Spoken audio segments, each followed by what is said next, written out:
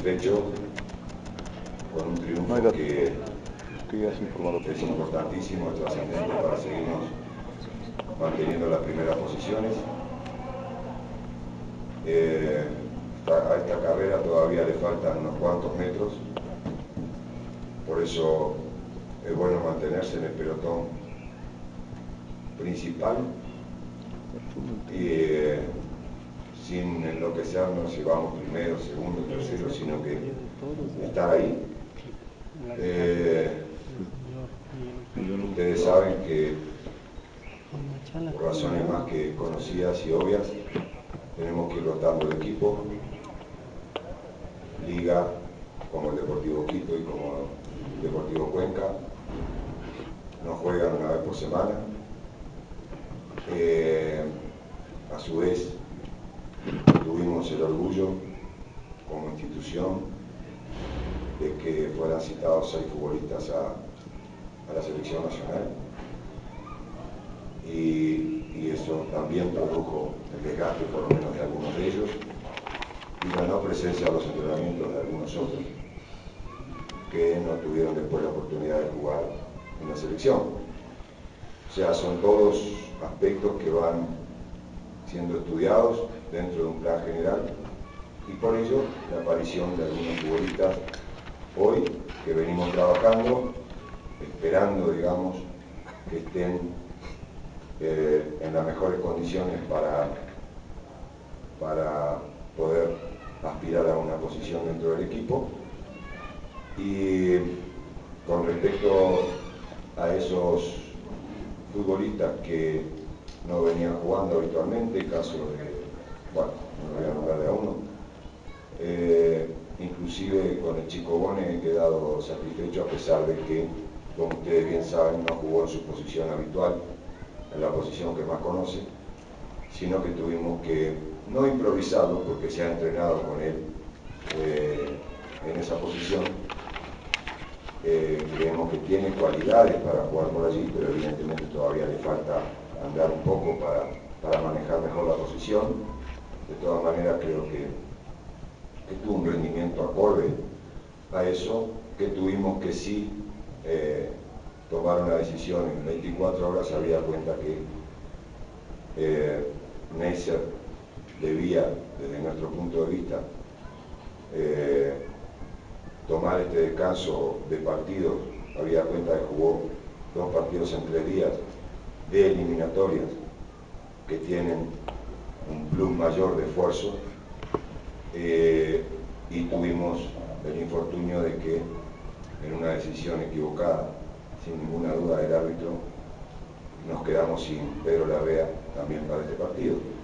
Entonces, por eso la aparición de Bones. Pero en términos generales, eh, jugamos contra un equipo que, hasta hace un par de fechas atrás estaba en la lideranza, es un equipo que, está muy bien armado, que trabaja muy bien y eh, nosotros pese a, a que tuvimos que renovar bastante el equipo, creo que en términos generales redondeamos una buena actuación y obtuvimos una merecida victoria. Profesor Cosati, buenas tardes a los presentes. Usted un poco ya hacía la síntesis de lo que fue el triunfo labrado, forzadísimo, minuto 75, recién apareció el gol. ¿Por qué le costó tanto a Liga encontrar y quisiera su análisis poco más detallado de los dos periodos que tuvo el compromiso? La felicitación porque es el líder del torneo en esta fecha, profesor? A ver, eh, cuando uno va renovando el equipo, esto es una frase vieja del fútbol, que todos conocemos, lo ideal para cualquier entrenador es eh, mantener un equipo, por lo menos eh, la presencia de 8 o 9 futbolistas que jueguen permanentemente, y allí el funcionamiento del equipo se agarra mucho más eh, con mucho más facilidad y con mucho más claridad. Tengo el problema, yo ya lo he comentado, esto no tengo yo, tienen todos los entrenadores en el fútbol ecuatoriano, que si hay futbolistas que eh, se pasan de los 23 años, no los podemos hacer jugar en el preliminar. Entonces, eh, con ellos se va forzando una falta de ritmo de fútbol que hace que, bueno, haya imperfecciones, haya, haya falta de, de eh, un, fútbol eh, más de, equipo que de fuerzas individuales y eso creo que fue un poco lo que nos pasó en el primer tiempo. Fuimos manejando algunas variantes, primero de sistema y después eh, de hombres y creo que con eso se consiguió lograr, se logró, perdón, el mejoramiento del equipo y con, con el mejoramiento del equipo también vino, por suerte, la definición.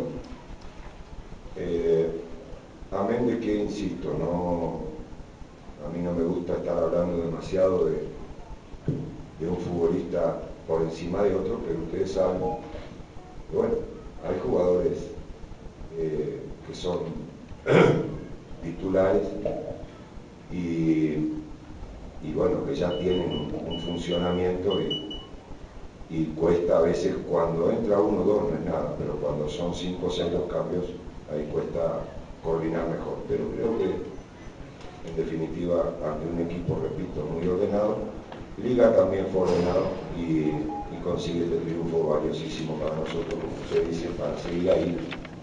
Estamos punteros, le decía que no me, no me enloquezco demasiado por el tema de si estamos o no estamos, porque esto puede ser hasta las 4 de la tarde donde juega Espoli. Y bueno, si gana Espoli, seguirá Espoli como puntero, pues No me preocupa, repito, sino estar allí en las primeras posiciones para rematar el momento final. Por la exposición, Jorge, buenas tardes. Por la exposición que usted ha hecho y cómo ha desmenuzado el porqué de la elección de estos hombres, el negocio fue redondo para la liga. Porque se gana un partido que era complicado, porque le ha dado el descanso a varios jugadores que los va a requerir para el jueves, más allá de que lo veía que en cualquier momento se metía al campo para parar y dar indicaciones, porque se cometieron muchos errores, sobre todo en los volantes de primera línea. Lo de Araujo, importante, volvió. Lo de Campos, ¿reviste alguna seriedad a la lesión? ¿Qué novedades tiene para el partido del jueves frente a Colo Colo? No, eh, gracias a Dios. Eh, de alguna manera hasta apresuramos eh, la vuelta de William, perdón, no de William, de Norberto Araujo, precisamente porque no podemos, no podíamos quedarnos con la duda y, y esa duda llevarla al jueves y respondió perfectamente, ningún problema. Y con respecto a Campos, eh, fue un golpe, eh, en principio no reviste ninguna gravedad.